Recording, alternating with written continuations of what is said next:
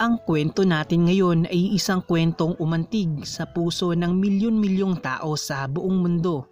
Ang mismong may akda ng kwentong ito ay hindi pa nakikilala. Pero ayon di umano sa kanya ay nagsisisi siya dahil sa mga pagkakataon na kanyang sinayang na naging dahilan ng pagkawala ng kanyang minamahal. Kaibigan, narito ang kanyang kwentong isinulat. Grade 9 lang ako noon, English ang subject namin nung mga panahong yun. Nakaupo lang ako at tinititigan ang babaeng nakaupo rin sa harapan ko. Ang babaeng iyon ay walang iba kundi ang aking best friend. Tinititigan ko siya at pati na rin ang kanyang napakagandang buhok. Gusto ko sana na mapasa akin siya pero hindi niya alam ang lihim kong pagtingin para sa kanya. Pagkatapos ng klase ay lumapit siya sa akin para humingi ng kopya ng lecture notes noong nakaraang araw at binigay ko naman ito. Nag-thank you siya sa akin at hinalikan niya ako sa aking pisngi. Nung mga sandaling iyon ay gusto ko na sanang ipagtapat sa kanya ang lahat para malaman niya na ayokong manatili lang na magkaibigan kaming dalawa. Mahal na mahal ko siya pero nahihiya ako at hindi ko alam kung bakit. Nung grade 10 na kami, isang araw ay tinawagan niya ako sa telepono. Umiiyak siya at ramdam na ramdam ko ang lungkot niya. Sabi niya ay niloko raw siya ng kanyang boyfriend at tinanong niya ako kung pwede daw ba kung samahan ko siya. Ako naman ay walang pag-aatubili na pinuntahan siya sa kanilang bahay. Habang nakaupo kami sa sofa ay napatitig ako sa mga magaganda niyang mata.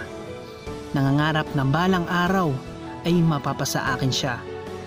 At makalipas ang dalawang oras ng panonood ng movie at pagkain ng chips ay napagpasyahan na niyang matulog na.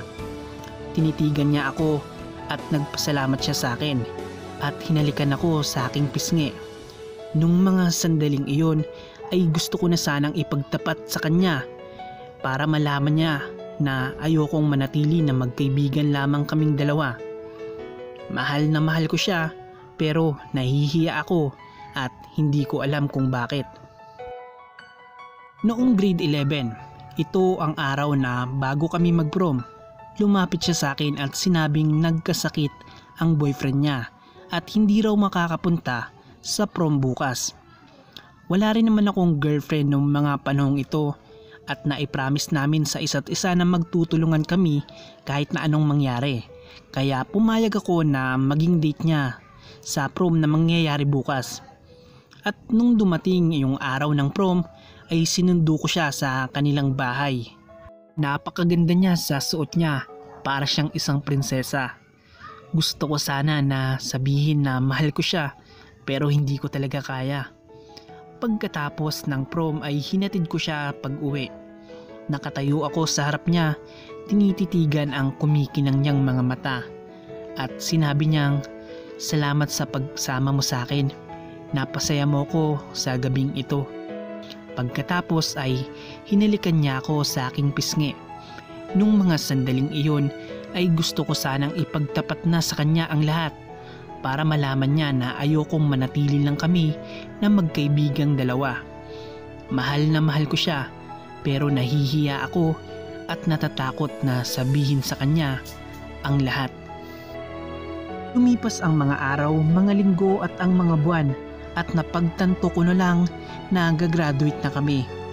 Tinititigan ko lang siya nung mga araw na iyon habang papaakyat siya sa stage para kunin ang diploma Napakaganda niya sa suot-suot niyang toga. Mukha siyang anghel na lumilipad sa kalangitan. Gustong gusto ko na mapasakin siya pero hindi niya alam na mahal ko siya at alam ko yon. Pagkatapos ng graduation ay pumunta siya sa akin habang suot-suot pa niya ang kanyang toga at niyakap ko siya. Umiiyak siya habang nakadantay ang kanyang ulo sa aking balikat at sinabing ikaw ang pinakamatalik kong kaibigan at maraming maraming salamat sa lahat. Pagkatapos ay hinalikan niya ako sa aking pisngi.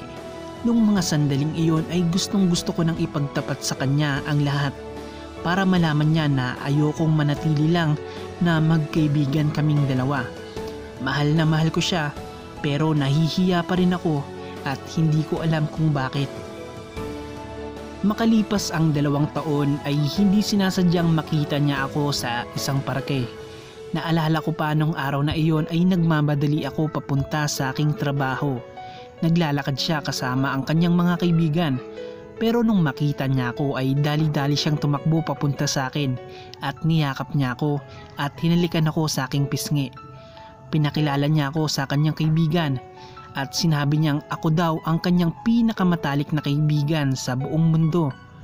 Nung mga sandaling iyon ay naiinis ako sa sarili ko dahil minahal ko siya ng napakatagal pero natatakot pa rin akong sabihin sa kanya ang lahat-lahat ng nararamdaman ko para sa kanya.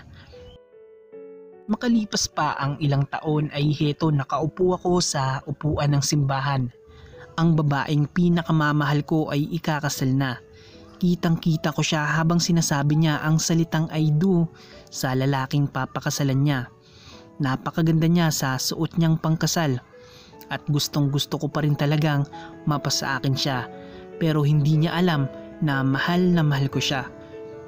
Bago mag-uwian ng lahat ay nakita niya ako at nilapitan. Sinabi niya sa akin na salamat at nakarating ka.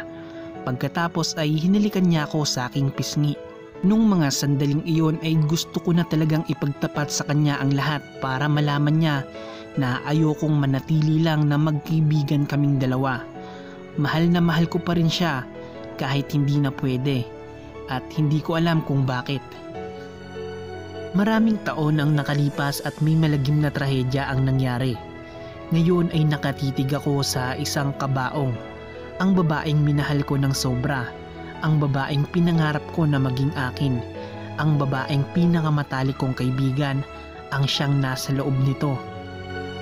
Binasa nila ang isang diary niya noong high school na kanyang tinatago-tago. Ang mga nakasulat doon ang labis kong ikinagulat. Naluha ako nung nalaman ko sa kanyang diary na may lihim rin pala siyang pagtingin para sa akin.